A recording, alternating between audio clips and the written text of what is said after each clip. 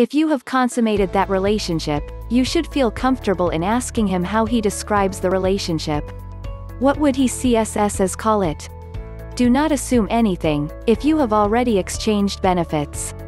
I don't want to sound old-fashioned, but there doesn't seem to be many boys or guys that you can expect a lot from.